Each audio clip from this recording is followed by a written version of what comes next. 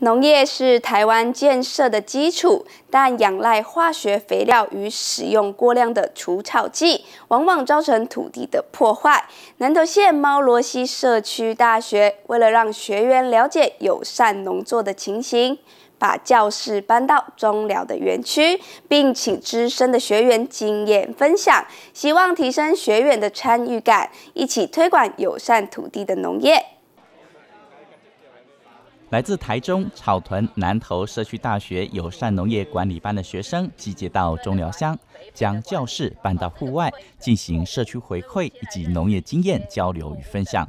我们都知道这几年因为食安一直出现呃让民众不安心的这个问题，那所以也因为这样子呃有机农业或者是我们不用药栽培的这样的一个农业耕作方式就受到很高的重视。可是因为农政单位所开的这一些的各种的农业课程呢，实在是生多粥少，所以呢呃我就朝着在社区大学开这样的一个科目。那在开课的过程当中，发现我们的消费者事实上对这样的一个知识这样的概念，如何能够吃得安心，如何能够种出自己能够信得过的这样的一个食材是非常重要的。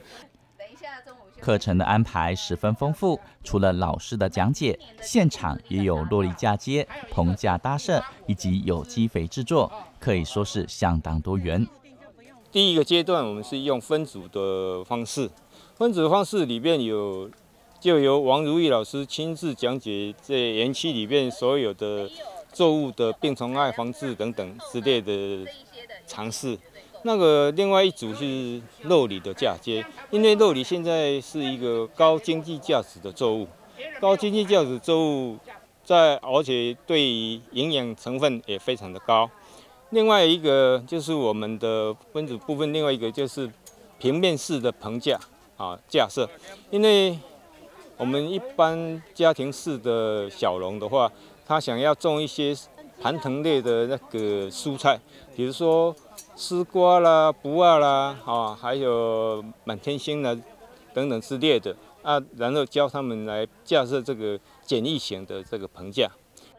经由社区大学课程的启发，学员更能了解无毒耕作以及有机栽培的方法，对于食材的选择也会更加清楚。我希望说，我们的环境呢，由我们的教育开始，我们自身做起，自身做起就要从自己做起。环境就是靠自己，按你自己做任何事情要有一个心，你没有那个心，你说哎呀不可能啊，有机绝对不可能，有机那么贵，啊有机的怎么会贵呢？大家都一起种了，它就便宜了嘛。啊，算讲厝里呐有一撮地，若无地吼，咱有诶像用用我啥物话，像讲咱诶。迄桶啊啦，塑胶桶啊，算啥用用迄个一寡迄个做啥，像迄个做，咱咧不织布啊，啥物货吼，甲围起，来，咱就听落用一寡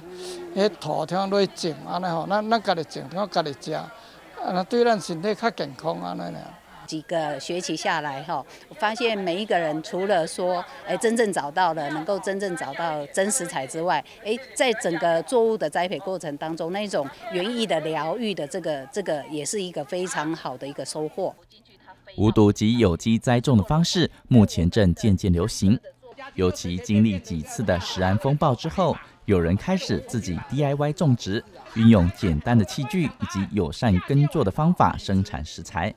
民众对于食材的选择上也有了新的思考方向。